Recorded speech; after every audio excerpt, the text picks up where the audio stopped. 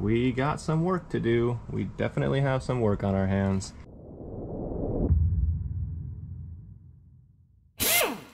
Hey guys, welcome back to another episode of RM Garage. So the other day, I bought something. I found this camper shell, and ignore the backyard, I'm sorry guys, I need to take care of that. It's very obvious, it's overgrown, need to mow it. Um, the other day I found this 4Innovator camper shell on Facebook, and I thought it was super cool. It looks like a 4Runner top, and I really want to make this thing work, but as you can see here, the cab angle is different between my camper shell and my cab. So actually the extra cab has a 10 degree cab angle where a standard cab would have a 4 degree cab angle. So we're working with a little bit of, uh, you know, like a 6 degree cab difference here, which is making this thing not meet up. So my plan was, and you can't really see it, but this used to have a rubber sill that would mount up to the cab here. My plan is to head to the junkyard today and try to find a window that will fit right in this area that I can maybe um, bond to the camper itself. And then after that window's in there, I'm thinking that we're gonna try to actually fiberglass the gap and make it look a little bit better. So let's head out to the junkyard and see what we can find. We're taking the SS today. It is way more comfortable and has way better AC.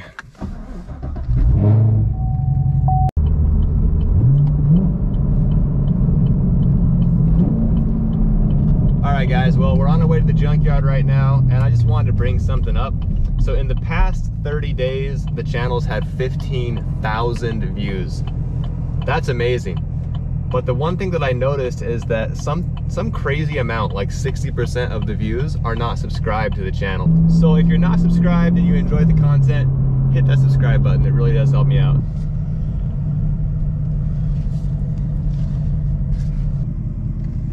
Well, we're here. Let's see if we can find what we need.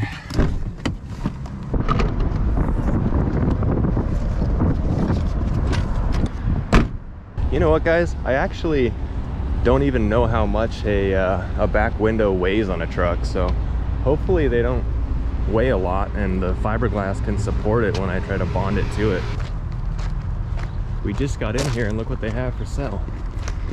This is a pretty nice uh, second gen 4Runner here. Let's see how it looks on the inside. Oh, it's all locked up. They don't let you look, but maybe we can see in there. Nope. But anyway, with the price of Toyotas nowadays, $25.99 isn't that bad. Is it four-wheel drive? It's a two-wheel drive. Well, that's why it's so cheap, but they have the same frame as the four-wheel drive, so actually a two-wheel drive might be a pretty good builder when you're only looking to uh, cut everything off and straight axle it anyway. It's not bad. It's pretty clean. Weird roof rack, just noticed that. Look at that roof rack. What in the world? The things some people do to cars is insane. So when I was walking up to the entrance of the junkyard, this guy stops me in a wheelchair and he goes, hey, can you help me put my wheelchair in the back of my truck? Of course I said yes, why would I ever say no to that? So I pick up the wheelchair and the wheel falls off. And I was like, hey dude, the wheel fell off your wheelchair. And he goes, oh, that's totally normal. Just throw everything in the back. Seems pretty unsafe. What if that thing comes off when he's pushing himself down the street? I've looked at the back window of a couple of these things now, and I guess I just really never noticed how uh, how small a Toyota truck is compared to a full-size truck. A lot of these things have a 60-inch plus rear window, and the Toyota is only 52 or like 53 inches wide at the widest point. So let's keep looking and see if we can find something that might fit. But it's not looking too good.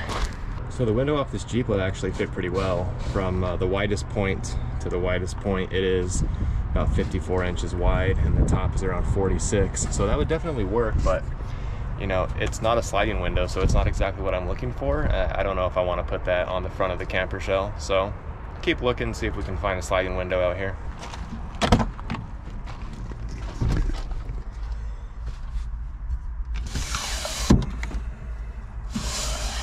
Will it latch? Ooh, this one, this one might be a contender. This one's in pretty good shape.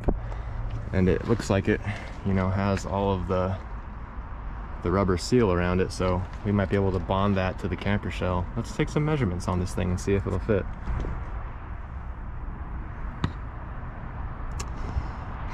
it's too big. It's too big. Dude, how small are these Toyotas, man? I guess I never realized how small a Toyota pickup is compared to even a mid-sized truck. It's insane. Ridgeline. Uh, if I took the rear window out of that thing, Whistling Diesel would come to my house and he'd drop my Toyota from a helicopter, so I'm not gonna risk it.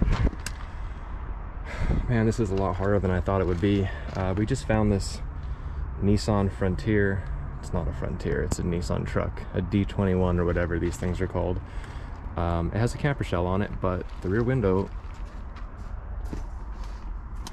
looks like it'll work. And the latching mechanism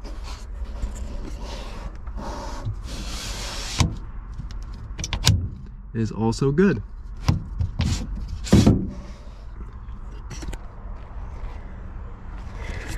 So I'm gonna have to take off this camper shell to get into this thing, but let's do it.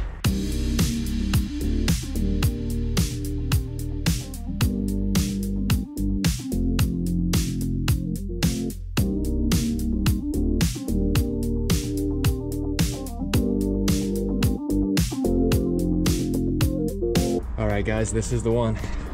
This one's totally gonna work and it comes out just like a Toyota comes out. So you just pry it out of there. And since it's so damn hot outside, the rubber's really soft and this thing will just come right out. So let's go ahead and let's go ahead and get this thing out of here and go pay for it and get it fitted up to the camper. See if my plan will work.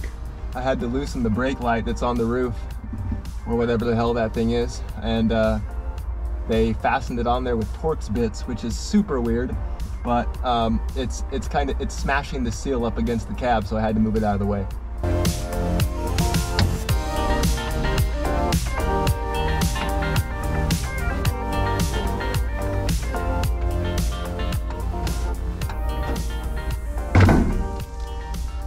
Woo! Well, that was the easiest window I've ever pulled out of a car in my life. Uh, only took four minutes to get that thing out of there. It's unbelievable. So this thing is about 55 inches, 55 and a quarter on the bottom and the top is around 46 and from top to bottom we got 16 inches here. So this thing will definitely work. Um, the seal's kind of torn up, but can probably order a new one if necessary. But either way, this will definitely at least fit for the most part up to the camper shell and then and then we can see if uh, this whole thing will work out and we could bond this window to the camper shell. All right, let's go pay for this thing.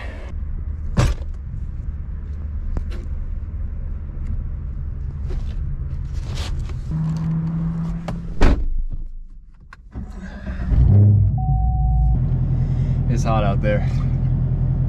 All right, well, we're $352 in total into the camper build now the camper itself was $300 and the um, the what did I just buy? The this window. vehicle is connected by OnStar to limited services. that was that was random. And the window is 52 bucks. So we're $352 into this thing in total. Hopefully we can get that window all mounted up. So let's go ahead and see see if it works.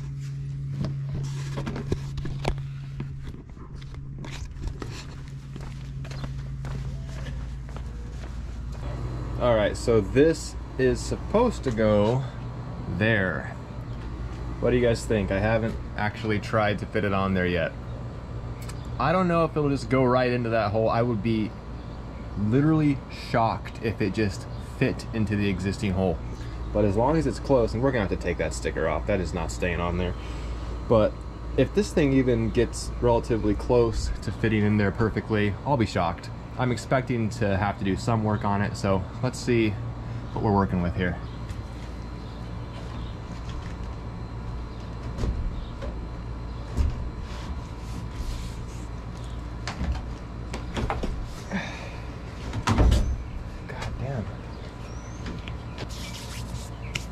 So it is gonna take a little bit of work to get this thing to fit up the way that I want it to. You can see that it's sitting behind the mounting surface right now, just so I could kind of get a picture of how it'll look.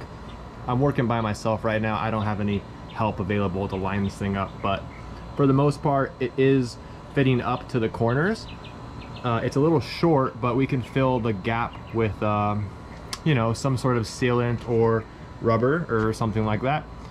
So when it's actually in there, and it's hard to do it by myself, guys, but when it's actually in there, it sits pretty damn near flush where I need it to be, especially when it's actually on um, the right side of the camper shell. So very minimal work that's gonna be required to get this thing to fit, and I'm overall pretty happy with it, and I think this is gonna turn out great.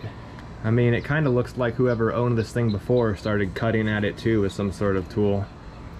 You see those jagged edges right there in the fiberglass. So if I need to modify this to fit the window better, that's totally fine. Uh, we'll just do some fiberglass work to get this thing to uh, mount where we want it to go. Someone's already shooting off fireworks. And once we get this camper shell finished and all fixed up, stay tuned for the truck bed uh, storage system build out. So we're gonna build some drawers back here and maybe a sleeping platform and get this thing a little bit more uh, camp ready. So it's a crawler, also a camper. We basically want this thing to be able to, to, to do everything that we want to do with it outdoors. So stay tuned. we got some work to do. We definitely have some work on our hands. all right guys that's going to be it for this video if you guys like this new style of video that i tried kind of a more vlog style approach please let me know in the comments below. And also if you have any ideas for the camper shell also let me know in the comments below. Hit that like button. And if you're not subscribed to the channel already please consider subscribing. I'll catch you guys in the next video. Later